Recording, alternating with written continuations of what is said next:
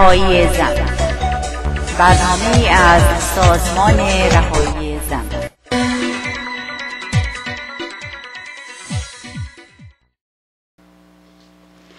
با سلام های بسیار گرم خدمت بینندگان عزیز برنامه رهایی زن امیدوارم هفته ای رو که پشت سر گذاشتید هفته خوبی برای یکایی که شما عزیزان بوده و آماده دیدن برنامه امشب رهای زن هم هستید. مینو همتی هستم و برنامه امشب رو بر طبق روال هر هفته تقدیم حضورتون می‌کنم. برنامه های ما جمعه ساعت ده شب به وقت لس آنجلس پخش میشه و در روز شنبه ساعت پنج بعد از ظهر به وقت تهران بازپخش میشه.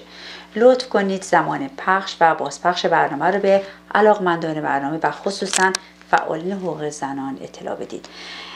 عزیزانی که به ماهواره دسترسی ندارند می‌تونن کماکان از طریق خود کانال یک همراه با ما برنامه را طریق اینترنت نظارگر باشند. دوستان عزیزی که در هفته های گذشته با ما تماس داشتن از طریق پیامگیر پیغام گذاشتید ایمیل دادید گزارش ها اخبار و مطالب برای ما میفرستید بسیار سپاسگزار هستم. حتما از این مطالب در جای خودش استفاده خواهد شد و تا اونجایی که برمیگرده به رسانه های دیگه من ارسال خواهم کرد به رسانه ها سپاسگزارم از تماستون. کماکان با ما در ارتباط باشید.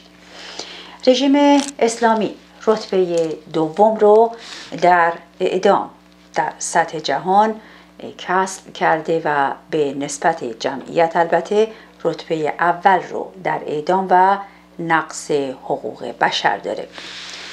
انتخاب روحانی توأم شده با لبخند زدن رژیم به شرکای غربیش و دندون نشان دادنش به مردم ایران. از زمان انتخاب روحانی به این طرف قوه قضایی رژیم بر تعداد اعدام ها افسوده و این اعدام ها در چهار گوشه کشور رو به افزایش هستش. از این طریق می‌خواد که از مردم زهرچش بگیره و جو روب و وحشتی رو ایجاد بکنه. اما مردم متمدن ایران نمی‌خوان این وضع ادامه پیدا بکنه. جنبش مادران علیه اعدام و فیلم دو برادر. فیلم مستند دو برادر که توضیح خواهم داد در مورد این فیلم می‌تونه یک بحث عمیقی رو در مورد ضرورت عاجل محو احکام اعدام از قوانین جزایی در ایران رو دامن بزنه و در نهایت جامعه را از قرون وسطا به عصر حاضر هدایت بکنه. فیلم مستندی که صحبت کردم مستند دو برادر اثر فیلمساز مشهور مقیم کانادا آقای یوسف اکرمی که کماکانی فیلم برای نخستین بار از کانال یک پخش و مورد استقبال بسیاری از بینندگان عزیز برنامه های کانال یک قرار گرفت. در همین رابطه تعداد بسیاری از ما درخواست کردند برای ضبط و پخش اون ما این فیلم رو مجددا پخش بکنیم. بنا به درخواست عزیزان ما این فیلم رو امشب مجددا پخش می‌کنیم. شما هم آماده باشید که ضبط کنید پخش کنید و در دسترس دیگران قرار بدید. اما خود این مستند. مستند دو برادر یک روایتی است متفاوت از چگونگی اعدام دو برادر محمد و عبدالله فتی که توسط جمهوری اسلامی ایران در 27 اردیبهشت سال 1390 برابر با 17 ماه می 2011 اعدام شدند. در این فیلم به وضوح محوش علاسفندی و بیژن فتی مادر و پدر این دو برادر برای نخستین بار ابعاد دیگه از اعدام فرزندشون رو ارائه میدن. این فیلم با همطور که در ابتدا گفتم با تلاش های بسیار یوسف اکرمی تهیه و تولید شده. امیدواریم که حقیقتا این فیلم یک زمینه ای رو برای رشد جامعه ایران و گام برداشتنش برای برچیدن حکم اعدام و سپردن اون به دوران بربریت تاریخ جوامع بشری رو فراهم بکنه. با هم دیگه میریم و فیلم رو مشاهده می‌کنیم و برمیگردیم.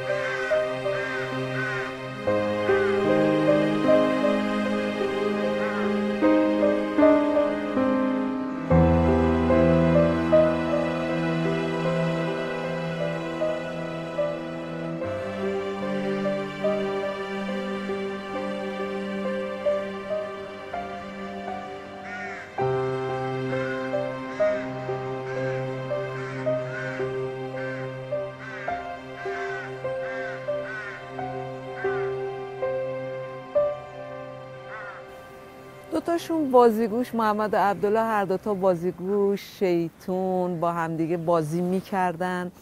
ولی محمد با اینکه یه سال از عبدالله بزرگتر بود خیلی آرومتر بود. بچگیش فوق العاده آروم بود. ولی عبدالله بیش فعال بود شیطون بود بازیگوش بود اهل جنب و جوش بود. یعنی اصلا من فکر می‌کنم اگه عبدالله به دنیا نمی اومد محمد برای همیشه آروم میموند. ولی این عبدالله بود که محمد رو کشوند به سمت بازی و شیطنت و بازیگوشی.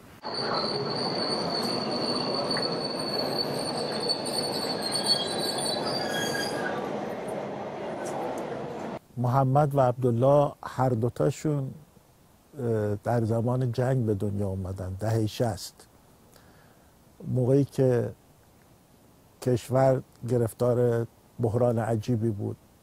مورد تهاجم عراق قرار گرفته بود. محمد که در شهر آبادان به دنیا اومد. شبی که به دنیا اومد وقتی که به دنیا اومد اومد روی کره زمین خمپاره زد توپ زد. زیر صدای توپ و خمپاره به دنیا اومد.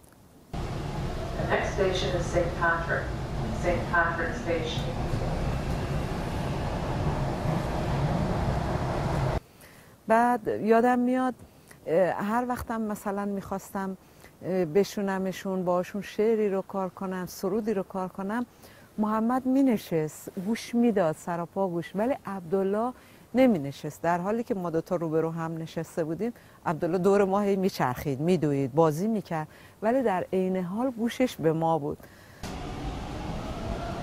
The next station is St. George, St. George Station.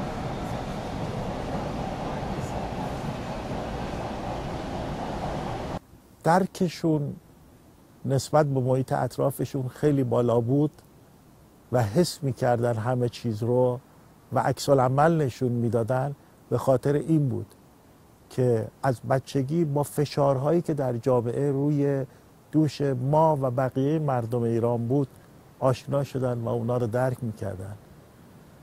و بیدلیل هم نبود که بعد که متوجه شدن که وقتی که اینا به دنیا اومدن چهار پنج سال بعدش هزاران نفر از جوانای این مملکت رو از نیروهای فهمیده خوب خوب این مملکت رو حاکمیت در زندان ها اعدام کرد.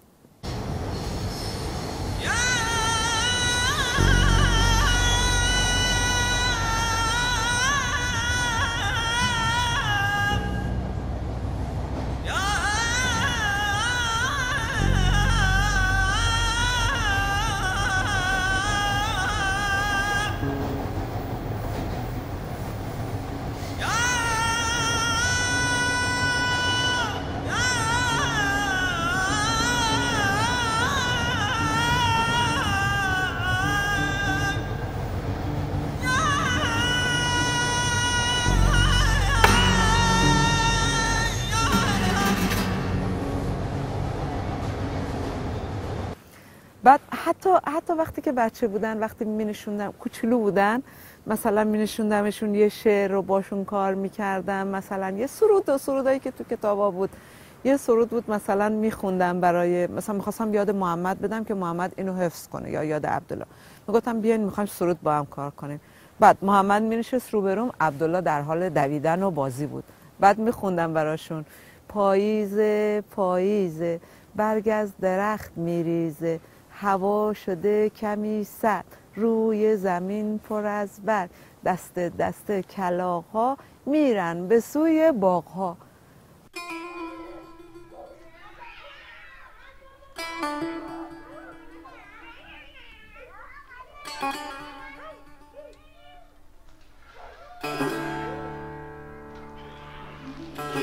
به نام خدا من همان خلیلی هستم.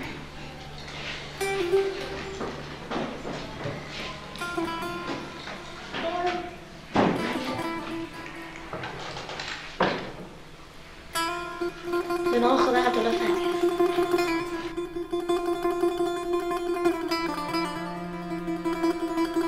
امیر فرهاد موسوی فرید کاظمی امیر رئیسی یکم آرومتر مثل که من عقب دارم. علی کریمی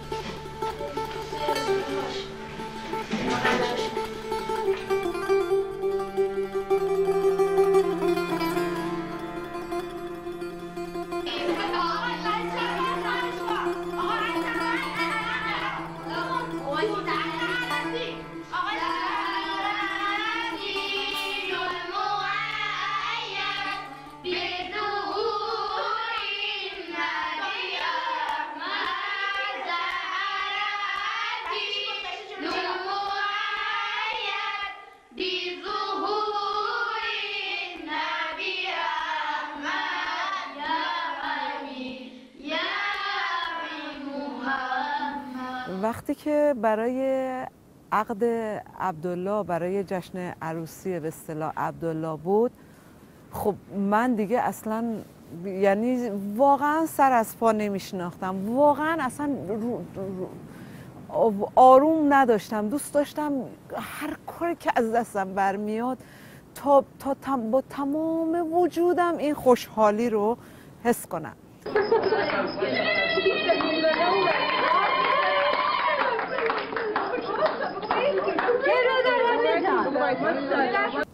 نمی نمی‌دونم چجوری بود که من یه دفعه اونقدر رقصیدم اونقدر رقصیدم. اولا همه فامیل دوست آشنا تعجب کردن که من دارم میرقصم منو می‌دیدن یا حتی بیژن. اینجوری داشت منو نگاه می‌کرد که منم دارم میرقصم.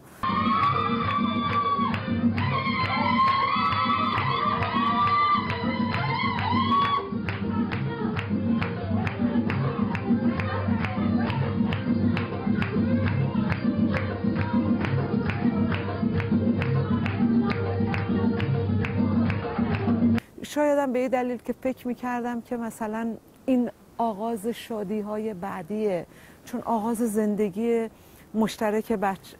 بچم بود دیگه به هر حال.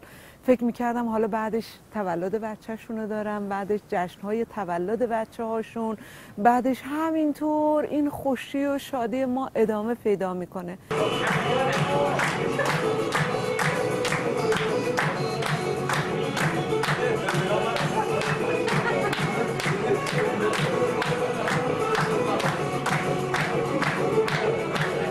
بعد خود عبدالله میگه مامان حالت بد نشه مامان کمرت درد نگیره این همه داری میرقصی. یعنی دلم نمی‌خواست این شادی به پایان برسه. دلم نمی‌خواست این یعنی یک لحظه اون فرصت اون اون بخش کوچیکی از اون جشن رو از دست بدم.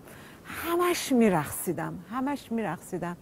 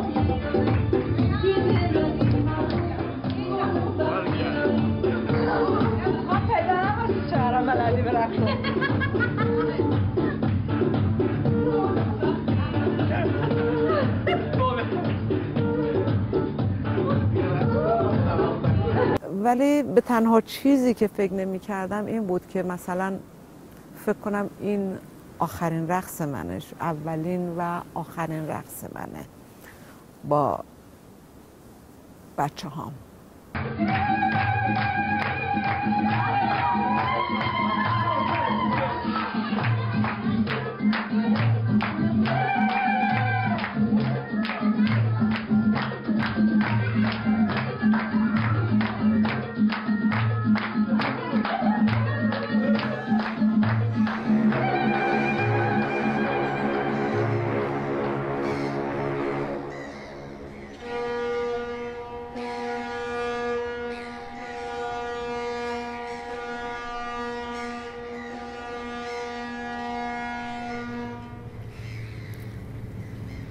تعطیلات عید بود مردم می‌رفتن مسافرت تفریح.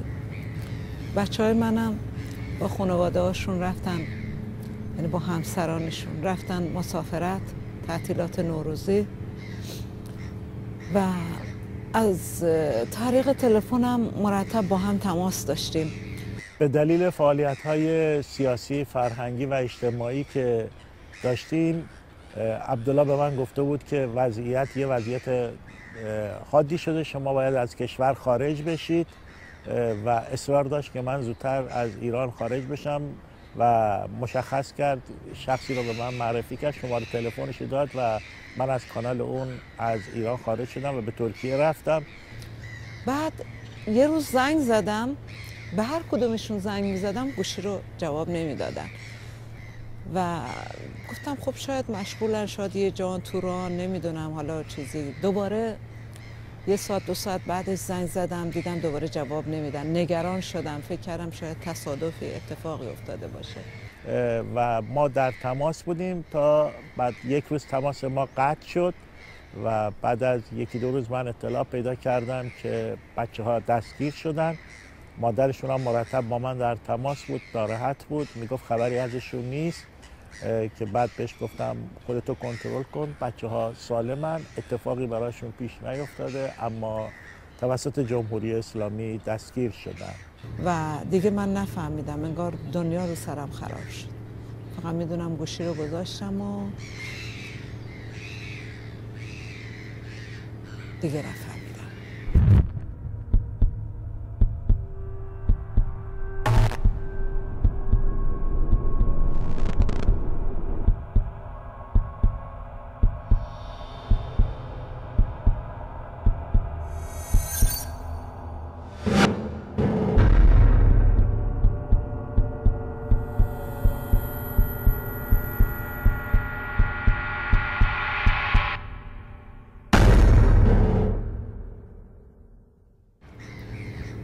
متاسفانه نمی‌دونم یا خوشبختانه. هر دفعه که کسی زنگ می‌زد و می‌گفت بچه ها رو تو تلویزیون نشون دادن من اون موقع یا برنامه تلویزیونم شبکه سه رو نمی گرفت یا من اون لحظه اون ساعت تو خونه نبودم. هیچ وقت من نتونستم اون چیزایی که تو تلویزیون نشون می‌داد اون موقع ببینم.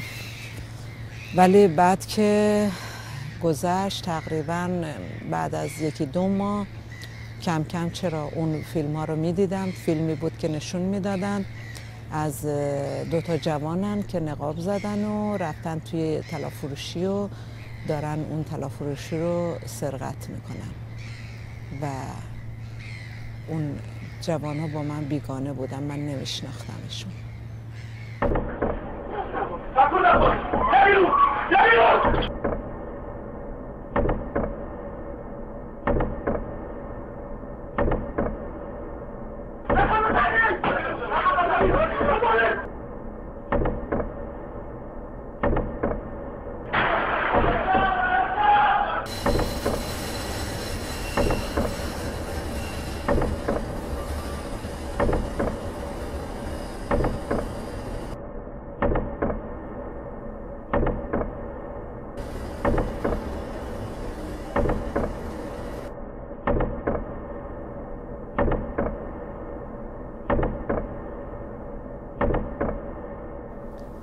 وقتی که در زندان بودیم و دیگه با هر اون برنامه‌ای که اونجا اتفاق افتاد آخرین دیدار رو که به ما دادن ما رفتیم اونجا ملاقات. من دیدم بچه ها رو با دست و پای بسته آوردن دونه دونه اول عبدالله رو آوردن. یعنی تو اون لحظه که عبدالله داشت به سمت من می اومد دیدم در عینی که خیلی قد و بالای رشیدی داره در یه لحظه برام تا آسمون کشیده می‌شد یه لحظه نگاه می‌کردم انگار یک بچه کوچیک بود. چنان داشت تند و تند به سمت من میومد که من نگران پاهاش شدم. گفتم مامان آروم بیا پاهاتو زنجیر زخمی نکنه. بعد گفت نه مامان زخمی نمیشه. اومد بغلش کردم بوسیدمش با هم صحبت کردیم خندید. گفت مامان چقدر خوبه که دارم تو رو اینجوری می‌بینم. گفتم مگه من چجوری هم؟ گفت که مثل همیشه گریه نمی کنی گفتم خب. بعد یه دفعه گفت که مامان اجازه میدی پاتو ببوسم. گفتم مامان این حرفا چی می‌زنی؟ زشته. یعنی چی پای منو ببوسی؟ گفت مامان بذار پاتو ببوسم. اگه نذاری ممکنه اشکم در بیاد. خودت می‌دونی که دلم نمی‌خواد اشکمو کسی ببینه. گفتم باشه حالا که اینجوری مامان پامو ببوس اشکال نداره. خلاصه ما با هم صحبت کردیم. فقط گفت مامان دلم می‌خواد که صدای ما باشی. دلم می‌خواد که به همه بگی که ما بیگناه دارن ما رو می‌برن می‌کشن. دلم می‌خواد بهشون بگی که من سیزده ما زندانی بودیم ما دو برادر. از این سیزده ما نه ماش رو تو انفرادی بودیم. نه ماش رو تو انفرادی بودیم. بعد روشو کرد به سربازایی که اطراف ایستاده بودن. گفت امشب همتون برید خونه هاتون برای خانوادهاتون همسایهاتون تعریف کنید که عبدالله و محمد بیگناه سربدار شدن. و دنیا رو با سربدار شدنشون تکون میدن. بعد خلاصه عبدالله رو بردن محمد اومد. دیدم محمد دیگه از اون خندانتر و شادانتر. شاد سرفراز. انگار که داره دنیا رو فتح می‌کنه. با یه حالتی میومد شاهنامه خانی می‌کرد و میومد و خب محمد زبون لوری رو هم قشنگ صحبت می‌کرد. اون لوری برا من با من صحبت می‌کرد. وقتی اومد گفت بنازم بد معوش که همیشه برای من باعث افتخار بودی. گفتم قربون قد و بالات برم شما افتخار منین شما عزیزای منین. ولی اصلا گریه نکردم اصلا اش نریختم. آغوشم رو باز کردم بغلش کردم با هم دیگه صحبت کردیم. اونم در اومد گفت که مامان من هیچ ناراحتی به دل ندارم هیچ قصه ندارم. خوشحالم که شما پدر و مادرم بودین شما خانوادم بودین. دلم می‌خواد اگر قرار یک بار دیگه به دنیا بیام یا ده بار دیگه یا هر بار دیگه این زندگی قرار تکرار بشه می‌خوام که خانوادم شما باشین. گفتم ماما منم همینطور منم همینطور. شما عزیزان منین و کسایی هستید که واقعا تنها لذتی که توی دنیا بردم وجود شما بود و افتخار به شما بود.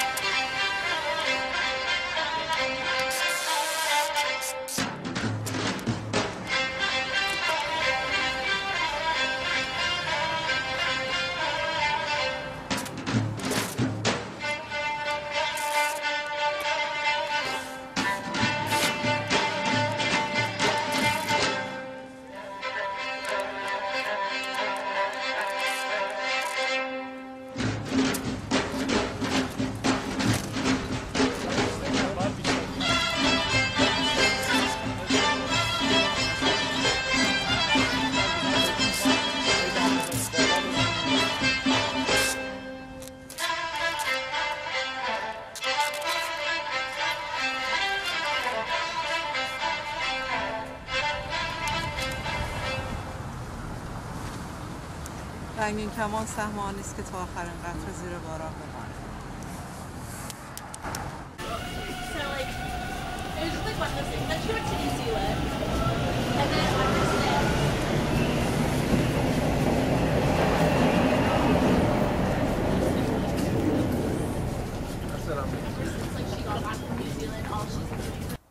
عبدالله در اون نامه ای که نوشته بود به انتظامی قضات و دادسرای نظامی و با من که تلفنی از زندان صحبت می‌کرد شرح شکنجه هاشو گفته بود که به خودش و برادرش چه بلایی سرشون آوردن.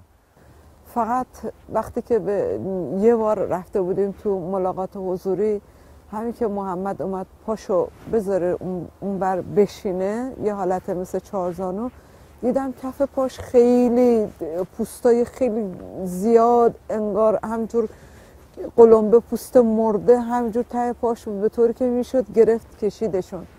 گفت که ما را قپونی کردن. من نمی‌دونستم قپونی چیه. که یک دست از بالا یک دست از پایین میبندن و اینا رو می‌کشن بالا. بعد می‌گفت که دستامون رو آویزونمون می‌کردن که کتفامون در میومد یعنی میبستن دستاشون از پشت با دستبند و میکشیدن بالا تا کتفاشون در بیاد. بعد ول می‌کردن ما رو میخوردیم زمین. ولی به واقع چند بار توی بغل کردن اینا حس کردم. یعنی مشخص بود توی اون حالتی که فشار می‌دادم و اون عکس عملی که نشون می‌دادن توی بغل کردن مشخص بود که توی کمرشون هم جای زخمه. و با تیر تو پای عبدالله زده بودن. موقعی که می‌خواستن بگیرنشون نمی‌دونم. ولی اون چیزی که بیشتر از همه چیز اونا رو شکنجه داد و منو شکنجه داد زمانی بود که از من خواستن که انتخاب بکنم. نمی‌دونم این بازی های جمهوری اسلامی بود. می‌گفتن خود خود آقای زرین و اونا گفته بودن به, به محمد عبدالله که توی قوانین جمهوری اسلامی هیچ وقت دو تا برادر رو با هم اعدام نمی‌کنن. بعد روزی که به من اون یکی از اون آقایونی که آقای مالکی نامی بود مال رئیس شورای عفو بخشودگی بود نمی‌دونم کی بود یکی از کسانی بود که مسئول این جریانات بود. به من گفت که بذار ببینیم چی کار می‌تونیم برات بکنیم. بذار ببینیم می‌تونیم یکیشو برات نگه داریم. شما تصور کنید به یه مادر بگن از بین این دوتا جوونت یکیشو انتخاب کن می‌خوایم اونو اعدام کنیم اون یکی رو برات بذاریم. بعد من بهشون گفتم که یا هیچ کدام یا هر دو. شما اجازه ندارید. شما حق ندارید به من بگید که بگو یکی از بچه هات رو اعدام کنیم.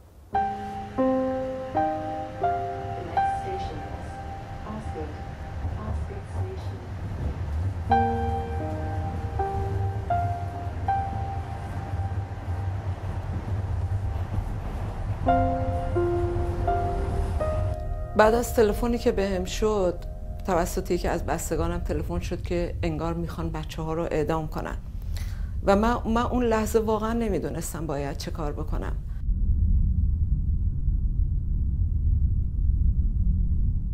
یعنی فقط خودم رو به, به زمین و زمان بند می‌کردم. نمی‌دونستم باید خودم رو به چه در و دیوار میکوبیدم. چه کارهایی که می‌کردم. بعد یه دفعه یادم اومد که خب من هرچی دعا کردم تا حالا هرچی که دست به دامن خدا شدم اصلا نتیجه نداد. یادم اومد رفتم سراغ این کاری که من معمولا مطالعه می‌کردم کتاب های کاترین پاندر رو میخوندم. توی کتاب کاترین پاندر تو قانون توانگریش توضیح میده که شما جملات تأکیدی مثبت رو همیشه اتفاقی رو که می‌خواید بیفته بنویسید.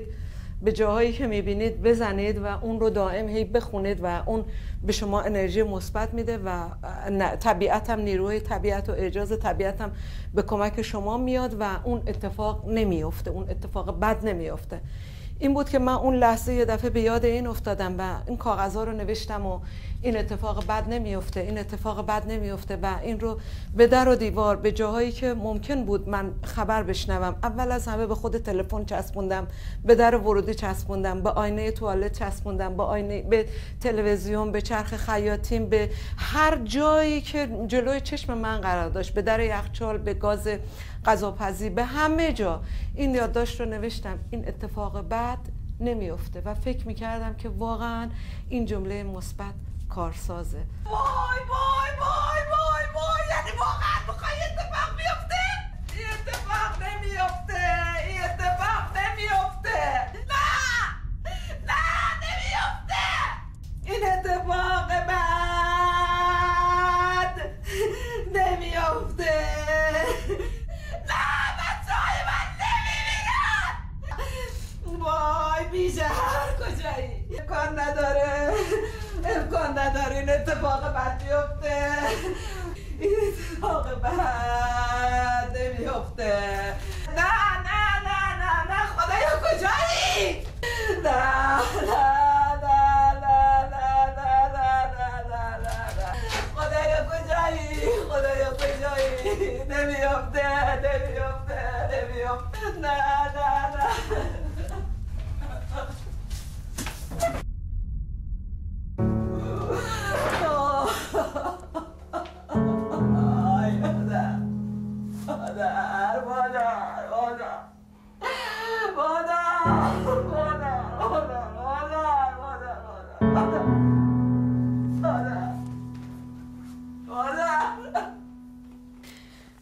این- خیلی منو عذاب میده. این خیلی برام دردناکه. وقتی که در میان میگن که اگر شما هنگامی که دعا می‌کنید دلت بشکنه از ته دل دعا کنی گریه کنی حتما دعات برآورده میشه.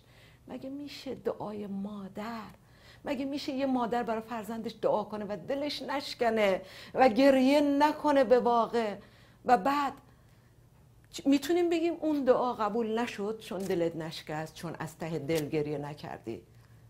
ناگفته نمونه. من اون لحظه زمانی که خبر این خبر رو دادن که شما بیاید برای آخرین دیدار دختر من این ملاقات رو از خودش سلب کرد. دلم براش میسوزه که این ملاقات رو از خودش سلب کرد. و رفت گفت ماما من میرم میرم امام رضا. تو اون لحظه می‌خوام برم امام رضا و به از امام رضا بخوام. بخوام که این اتفاق نیفته. این اتفاق بد نیفته. و درست زمانی که زمانی که زنگ زد به من گفت مامان من الان رسیدم توی امام رضا. اینم گوشی. حالا هر حرفی تو داری من دعا کردم. تو هم هر دعایی داری به امام رضا بگو. گفتم سر دخترم. گفتم دخترم تلاش نکن. دیگه دعا نکن. زحمت نکش. از دست هیچ کس کاری ساخته نیست. شادی کنه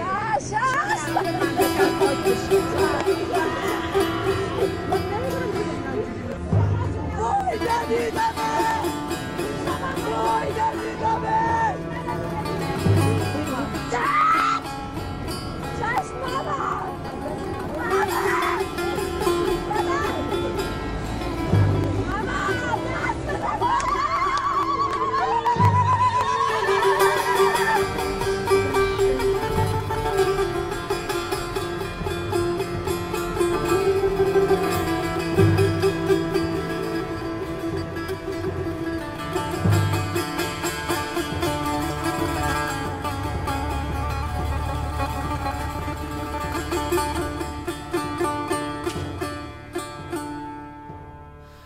آخرین دیدار خواهرم به عبدالله گفت که گفت عبدالله خاله عزیزم قربونت برم.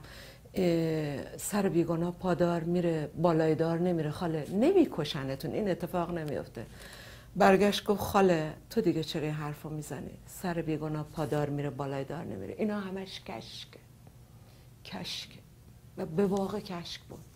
تمامش تمام این چیزهایی که ما یه اون عنوان ضرب المثل شنیده بودیم تمام چیزهایی که به دعا به خورده ما داده بودن که اینها رو باید دعا کرد باید اگر مادری با تمام وجودش دلش بشکنه گریه بکنه برای بچهش دعاش برآورده میشه. کی چه می‌دونه من شب تا صبح چقدر راز و نیاز کردم چقدر دست به دامنه. اون خدایی که بعدا فهمیدم وجود نداره شدم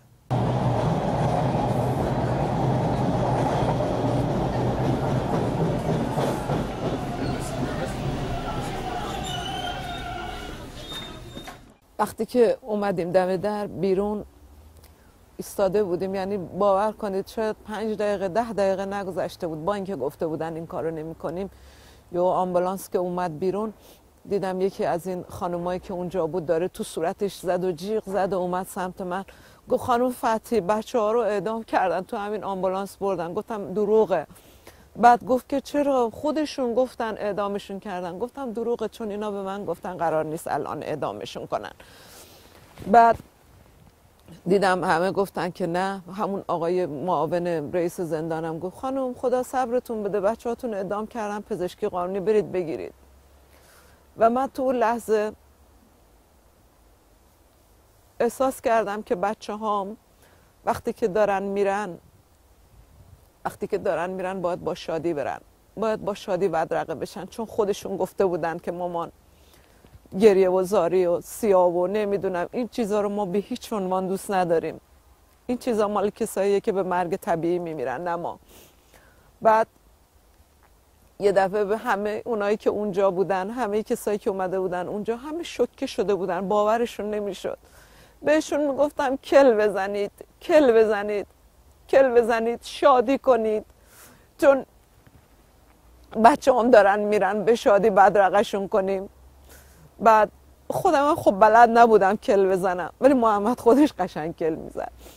بعد گفتم خدای حالا اگه محمد اینجا بود چقدر قشنگ کل می‌زد.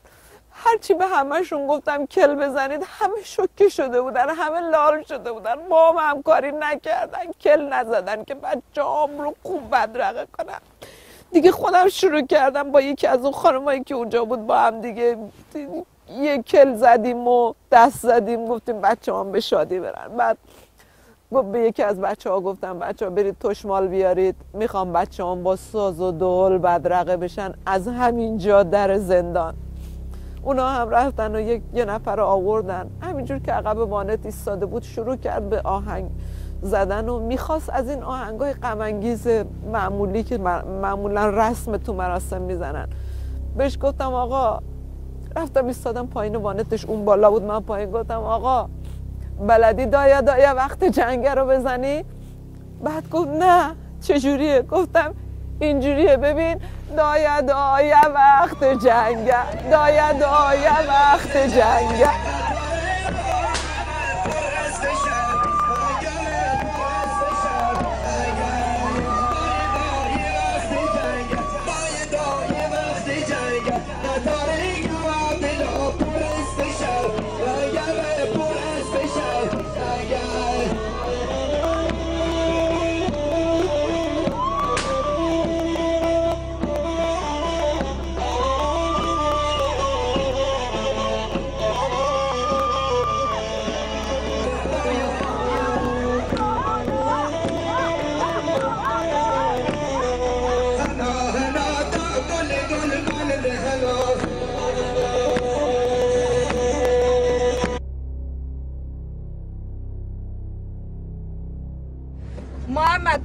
سال پیش شعر اعدامی سروده بودی مامان.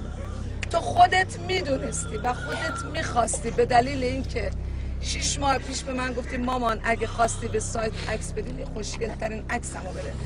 دوست داشتی اینجور بمیری. هم میهنان جمهوری جهل و جنایت که تداوم حیات ننگین خود را منوط به استقرار سلطه فضای رعب و وحشت می‌داند سپید دم امروز 27 اردیبهشت ماه 1390 عبدالله فتحی 27 ساله و محمد فتحی 28 ساله جوانان رعنای مرا به اتهام محاربه در زندان الفتای دستگرد اصفهان اعدام و پیکرهای هنوز گرمشان را تحویل مادرشان داد. قافل از آنکه چنین جنایاتی نیز هرگز نخواهد تسکینی بر سرنوشت خفتبار جمهوری اسلامی بگذارد. من بر علیه صادر کنندگان و معیدین این احکام ظالمانه و غیر انسانی در پیشگاه مردم ایران و مجامع جهانی و نهادهای بین المللی مربوطه اعلام جرم می کنم اینا چیزاییه که من از محمد و عبدالله دارم و از زندان برای خودم آوردم بعد از اینکه بچه ها رو اعدامشون کردن. این, این لباس که تن محمد بود تن عبدالله بود و بعد پاره کردن و از تنش در آوردن. بعد از اعدام این هم لباس محمد بود که بعد از 18 ماه 18 ماه از سربدار شدن بچه هم میگذره. ولی هنوز این, این لباس ها بوی عطر تن محمد و عبدالله رو داره و فکر نمی کنمم تا روزی که دنیا وجود داره تا ابد این عطر از این لباس ها بره. به همین دلیلم می‌خوام از این دو لباس این دو لباس رو بکنم پرچم نب اعدام این دو لباس رو به کمک مادرای دیگه از اونها هم که فرزندانشون اعدام شدن سربدار شدن یا تیرباران شدن تکه های از لباس های اونها رو هم بگیرم که به همین پاکی و معطری هست. اونها رو بگیرم و باهاشون یک پرچم درست کنم. پرچم نب اعدام علیه اعدام.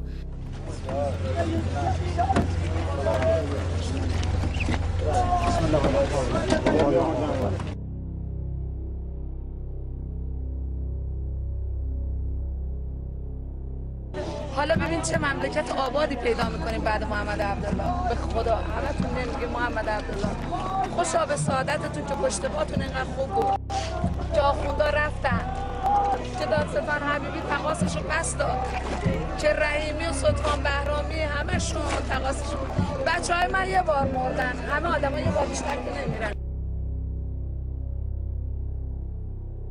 ولی ولی حبیبی خامنه ای اعضای مجلس دیوان عالی قضایی دادستان حبیبی رحیمی سلطان بهرامی روزی صد بار میمیرن. روزی صد بار میمیرن به خدا از امشب از الان دو روز آرامش ندارن ای وای. کدوماتون رو کشتن؟ کدوماتون رو مثل بچه های من کشتن؟ کدوماتون رو؟ کدوماتون؟ کدوماتون عمر طبیعی نکردین؟ کدوماتون رو نذاشتن زندگی کنین؟ کدومتون؟ کدومتون؟ کدومتون زندگی نکرد؟ ای وای! وای محمد! محمد!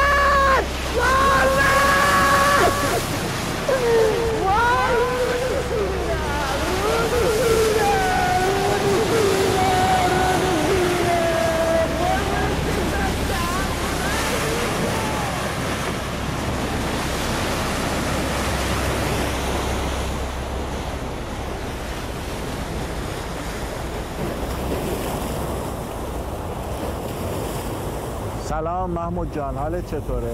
بیژن فتحی هستم. می‌خواستم بگم که فردا تظاهرات علیه اعدام داریم. به دوستان خبر بدید.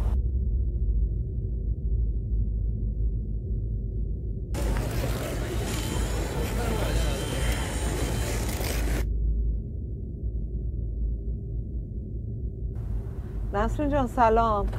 من محوشم. می‌خواستم اه، هماهنگ کنم. در رابطه با چیز تظاهرات نب اعدام.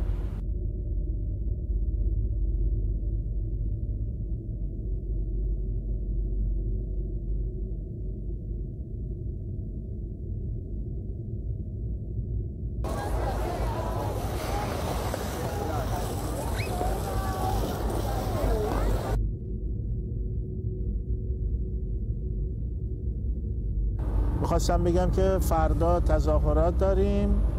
به دوستان بگو. و با منم یه تماس داشته باش. متشکرم.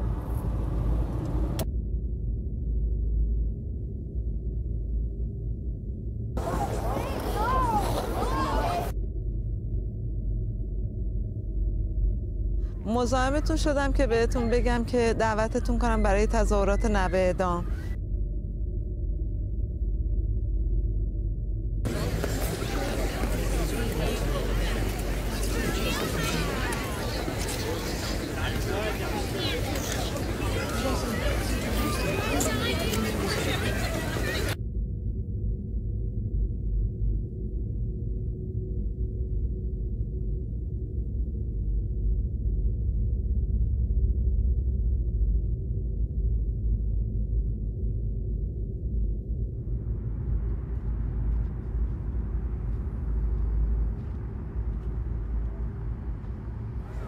از اون وقتی که اومدم کانادا خب رو تفاوتی که حس کردم به حال اینجا کشوریه که آزادی هست. اینه که اینجا که رسیدم تصمیم گرفتم نهاد مادران علیه اعدام رو تأسیس کنم.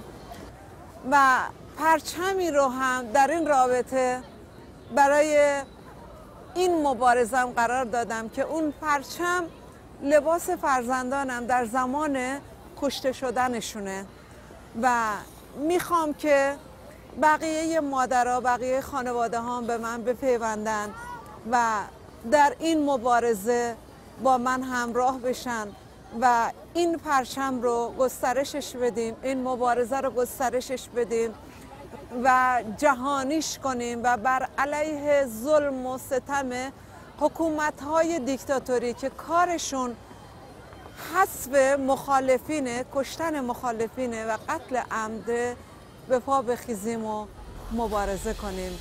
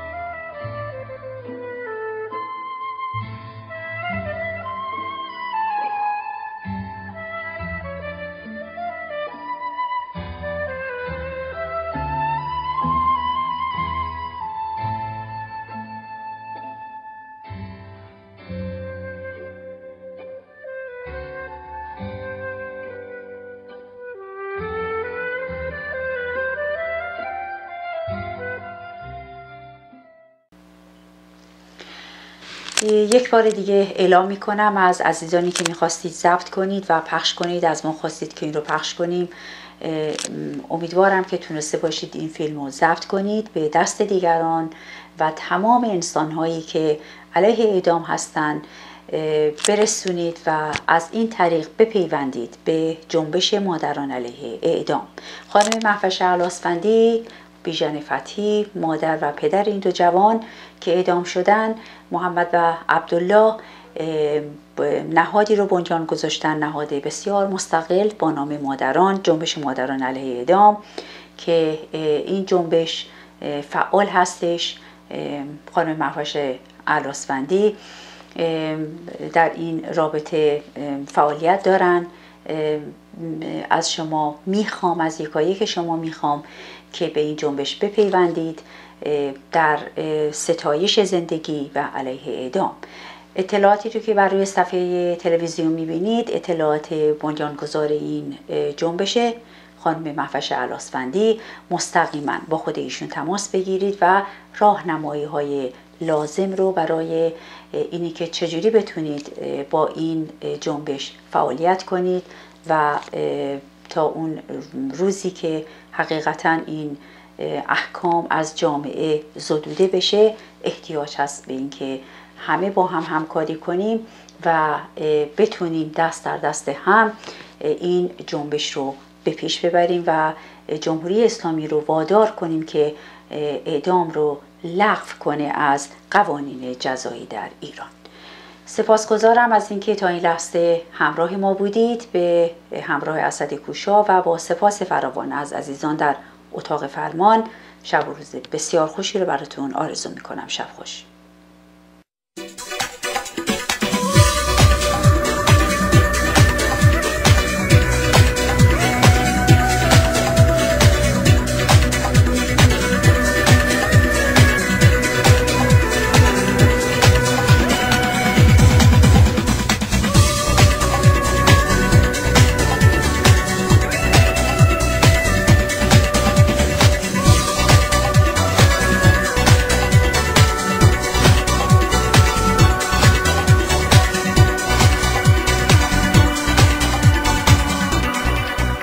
رهایی زن. برنامه از سازمان رهایی.